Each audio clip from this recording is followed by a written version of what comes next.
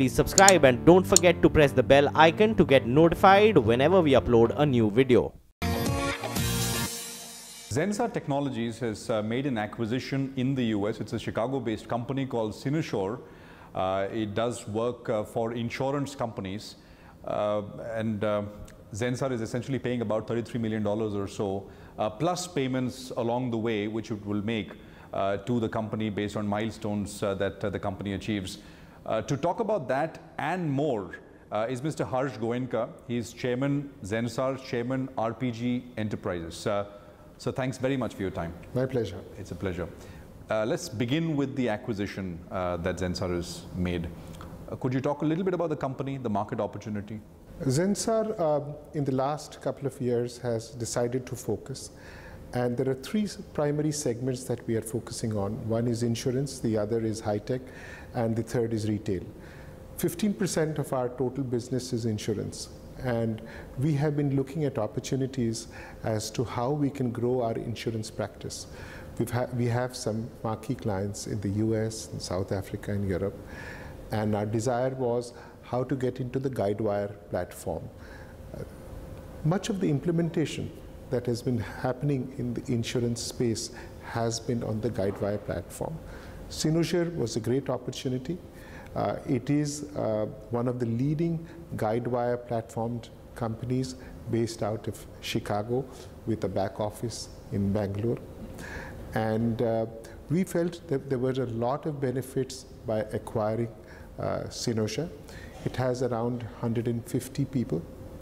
Uh, it is primarily in the property and uh, casualty space, uh, a business which is really massive in terms of size and growing. We also felt that there was a huge opportunity with insurance companies now wanting to become digital. Uh, there is the, the potential for customers uh, to ask for a omni-channel offering. And we felt by this acquisition not only would there be synergies in terms of customers, we could introduce Cynosure to our customers and vice versa, but also we could take our offerings to the uh, cloud and digital platform. And uh, the track record of uh, Cynosure has been pretty good. It has been growing by over 50% a year, and we are uh, hoping that this kind of growth can continue in the future. Would the acquisition be uh, earnings accretive yes, immediately? Yes, it will be. The, the turnover of uh, is about uh, $20 million plus, and uh, the total amount that we will be paying will be around $33 million plus the incentives based on future guidelines. And this will be funded uh, via internal accruals? A large part will be through uh, internal accruals, but some part will be uh, through uh, debt it was earlier owned by uh, four partners led by Sid Wadhwa, who was the largest shareholder, and they will continue working within the organization, Zensar organization. In fact, Sid Wadhwa will take over as the head of the insurance practice itself. Uh, just to uh, wrap up the conversation on Zensar, this is the third acquisition which Zensar is making over the last one, one and a half odd years or yes. so. The, the, first acquisition we did was uh, in professional access, which was in digital e-commerce. The second has been in, um, in warehousing and logistics management, which was called Keystone. Both have turned out to be uh, good acquisitions. And uh, as you can see, they are in the uh, areas of our, what we define as our core businesses. And we will be still be looking at further acquisitions in the future, but it, they won't be a big bang acquisition. We'll be looking at acquisitions where we will be enhancing our own capabilities. Let's move on to uh, other group companies. I mean, and let, let me begin with uh, uh, which has been a leader in that particular space. Could you talk to us a little bit about the efforts uh, underway at CEAT to really go after the passenger car uh, tire market. I mean, a couple of years back, uh, actually more than a couple of years back, CEAT was known as a truck and uh, heavy uh, uh, sort of vehicle tire manufacturer. You moved aggressively into the two-wheeler space, and now you want to do the same as far as the passenger car space is concerned. Where are we there in that uh, journey? we made a very conscious journey difference where we said we will more and more move to the consumer segment. And the problem in tire business is it was very much dependent on commodity prices. So the, the, the actual profit play is if we can convert tires from a commodity to a consumer play. And that's what we've been attempting in the last couple of years. The, the emphasis has been primarily on two-wheelers and passenger cars tires. And we've increased significantly our market share in both these categories. We are putting in significant investments. We have put up a new plant in Nagpur to make uh, two-wheeler tires. We're now putting up a large tire capacity in Chennai for passenger car radial tires. Uh, we are expanding our capacity in Baroda. So there is a nearly a 4,000 crore expansion which is going on at full speed. That on the one hand, on the other and hand. And that will be completed over the next two years or so. In the next one year, uh, one and a half years. So on the other hand, we are also putting up uh, a capacity for uh, off the highway tires, primarily farm tires, meant for the international market. Even the passenger car tires that we are uh, looking at, a large capacity, will be for the most sophisticated European market. And this new plant, which we have just set up at Ambernath, will also be primarily for the international market. For they will have tractor, farm tires. They will be short runs. The kind of uh, uh, and the margin profile of, of these tires are uh, far higher. Um, we're also expanding our capacity in Sri Lanka, where we are the leading tire company, and now we are embarking on putting up a plant in Bangladesh. So there's a fair amount of expansion happening. You know, there was a favorite talk, it always comes up, the Chinese imports of tires uh, uh and that being disruptive, the industry was asking for uh, government uh, for help, etc. Is there any need now for that? or the There has been an anti-dumping duty as far as truck tires are concerned, and one has seen the, the tire the share coming down coming there. substantially. So that's good news for the tire truck And that should continue? industry. That- That, should continue, and I hope it, it will. Sure. Uh, do you have any, uh, I mean, S- CEAT may be the most valuable business in, in, in the group right now. In terms of growth rates uh, over the next couple of years, when you said that you're bullish about the market and see it being the player it is in the industry, any uh, projections you can make for uh, growth at the company? Not just this year, but the next couple of years. What we are aiming for is not to be the largest tire company, but to be the most profitable tire company. So I think the, the entire emphasis is how to grow profitability. Um, and that will be our objective in the future. And uh, today, the most valuable company within the group uh, is uh, KEC, in fact. Okay. So you uh, bring me to my next question, which is KEC. That is morally a, a, a very much a B2B kind of business, right? Yeah. So KEC is primarily an EPC player. Our major play is in power transmission, where we are actually global leaders. And uh, we have plants uh, in not only in India, but countries like Mexico and Brazil. We're doing projects around the world in some of the most difficult terrains in Afghanistan and in, in Congo and um, and in Africa, we are a leading player. In, in, Latin America, we are the largest players.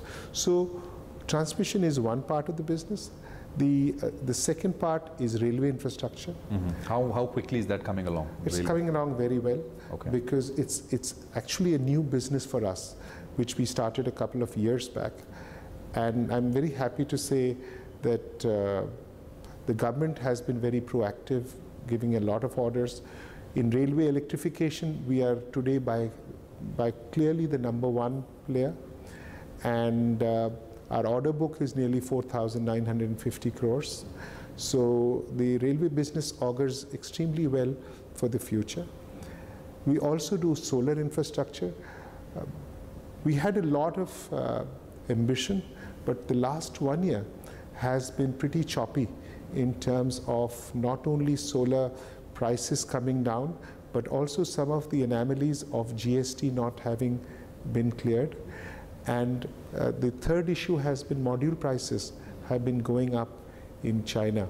So all this has uh, not been good news for the solar industry. And if one looks at what the government had set itself as an objective, I'll be surprised even if they do 50% of that. Okay. So some serious thought needs to be done to make the solar business much more viable. So uh, at a group level, I mean, you know, debt levels remain extremely uh, comfortable. Uh, debt to equity ratio is very uh, low for the group. Are we looking at uh, any any uh, any large acquisitions, anything of that sort? We are basically a conservative company, -huh. And and and thank goodness for that. we are in none of the businesses which seem to be in the news. Right. And the other thing that we've always stayed away from is controversy. We've never got ourselves involved in politics and uh, all the issues. So it's been a conscious attempt to uh, stay away from businesses which, which uh, are close to the government. So you want consumer-facing businesses, not government-facing businesses. I mean, to no, put it, uh, not government-facing businesses, but hopefully, I, you know, with the present government, I can see things cleaning up. I, you know, corruption at the top level is absolutely zero. So hopefully there will be a trickle down which will happen and a day will come and we'll say we'll, we'll start working with the government. What about, uh, so I mean, cleanup in terms of corruption at the top level, but what about cleanup in the banking system? What's your view? I mean, that's the big talking point nowadays. It's, uh, it's been a, it's a very serious issue. But do you think we're on the right track with the uh, I I, IBC, the NCLT? Entire, to me, the IBC is as big uh, a move as demonetization or GST. The unfortunate thing is this whole NCLT business is, you know, though the intentions are good, the processes meant to be are clean, there are so many legal cases going on, one promoter to the other, uh, from, from you know, somebody is challenging the IRP, somebody is bidding a higher price after the pr process is over. I think we ourselves are to blame. Uh, you know, we always, businessmen tend to blame the system, blame the government. And as far as this time it is concerned, I think the government is on the right path. We are the ones at fault. And uh, the, the, the erstwhile promoters, I think they are extremely scared because uh, they, what is left behind is a fair amount of muck. And if any, any audit happens, which may happen once a new promoter takes over, there will be an entire trail that they would have left behind. And therefore, I can see existing promoters trying to delay uh, tactics or get out of the NCLT system so that. Uh, but do you think outside interventions should be allowed? I mean, uh, in what we've seen with the cement asset, for example, do you think that kind of thing should be allowed, or the government? Because it's in the court now. I mean, uh, as you say. Yeah, but but there is a track which has been laid, and why are people challenging the track? Right. You know, if you had to bid for something, you bid at that point of time. You cannot you cannot go across the system and try to derail the system. Correct and and that seems to be happening. So many so many of these cases that are happening, um, legal suits, which will go on and on. And, and I was very happy to see that within nine months a resolution will have to be found in most of the NCLT cases because this is you're talking about the first 10 then there is another 40 that needs to come into play Correct. and one needs a solution but one has seen for example in the road sector so when this present government came, there were so many road projects which were, which were halfway. Uh, and in, there's in been a, a fair bit of momentum there in oh, terms yeah. of getting them all together. Absolutely. In fact, to the extent that we started thinking, is it an interesting sector to get into? Okay. I mean, which is essentially uh, the, the EPC play that Absolutely. you're talking about. Fair enough. Uh, no, just to come back to that point, uh, but now that these cases are in the court, what, what, what can, what's the way out really? I mean, the court has to put, put its foot down and say. I, I, I think so. Because the courts have to interpret the law. Absolutely. I don't think it, has the, it is the government anymore because most of the people, whether it is the promoters, whether it is the, uh, the bidders or the counter bidders, they've all seem to have gone to the court or the press. And, and I think there's more mess happening than anything else. And I think. And how these cases will be decide, are decided, and if they say, well, this is the process, and let's stick to this, no other interventions will be allowed. I mean, that also lays down a precedent, right? About and that's exactly, I think, what should happen is that you have an IRP, you have an NCLT. Why are people going to the courts? Because uh, unless there is something, a, a, a serious grievance, you, you have bid for it, the highest bidder needs to win. But do you think this will finally be, uh, see through all these? Uh, I mean, the government means well, and, and, and I think it's determined to find a solution. And I'm, I'm very hopeful. I mean, the government has laid down the law, but now uh, the implementation has to happen. So, are you bullish about the process? Or I'm very bullish because I can see a sense of purpose as far as the government is concerned, and the courts seem to be in a hurry, except that we ourselves are creating problems. Fair enough. Uh, Mr. Goenka, what's your view about the, the, I mean, growth itself? Many have said that unless you fix the PSU banks, you know, who's going to fund the infrastructure? Uh, what's, what's your view really, I mean, at this point? The, the capex cycle hasn't yet started. And that's been the one big problem as far as employment is concerned and as far as growth is concerned. And according to me, there are, there are two reasons behind it. The first is that capacity utilization is still around 75% so or so. there's no real need to put up more. Uh, so I think once another 5%, 10% momentum is there, you will see growth happening. Second is where is the capital formation going to come from? Most of the promoters uh, used to uh, indulge in gold plating the, uh, the plants and used to use the funds.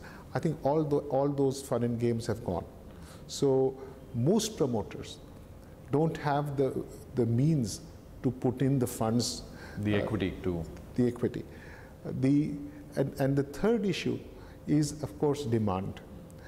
The demonetization and GST have been good steps for uh, the longer term, but it has had its uh, uh, hiccups for the last year or so. But I'm, I'm quite confident that by, in the, in the, by the third quarter, you will see a demand uptick and you will see Achhe din soon.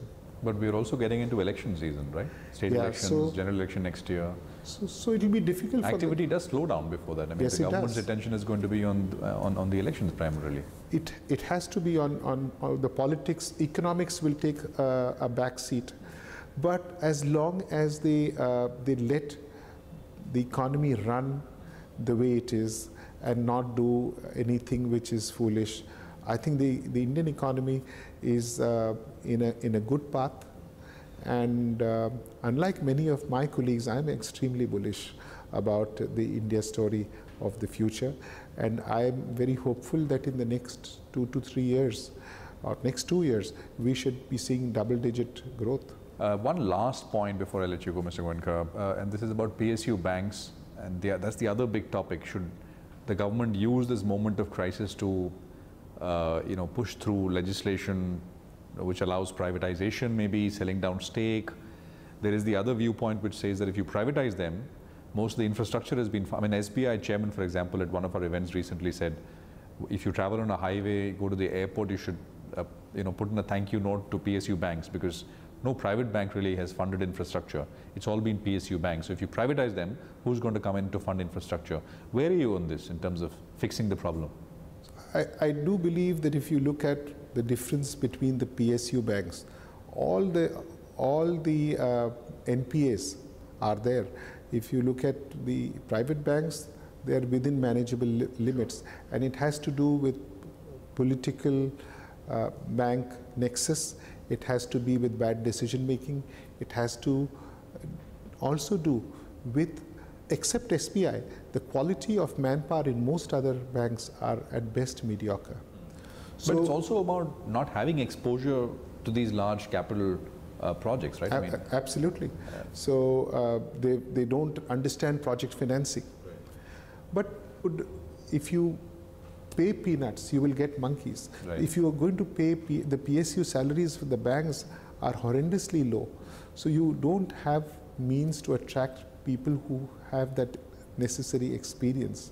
So my view, of course, is, is different. I think there should be privatization that should take place and also merger of the PSUs. But I can't see that happen because politically It is not, it is not expedient to happen before elections because whichever private sector will come in, they will, and with the move towards digital, you'll have to close down branches, you will have to have wholesale That's retrenchment of people. Political problem then. And therefore, if you ask me, any kind of, uh, you know, they could have cosmetic privatization, but real privatization will not happen. Mr. Goenka, it's a pleasure, sir. Thank you very much for your time. Thank you very much. Thanks indeed. Thank you.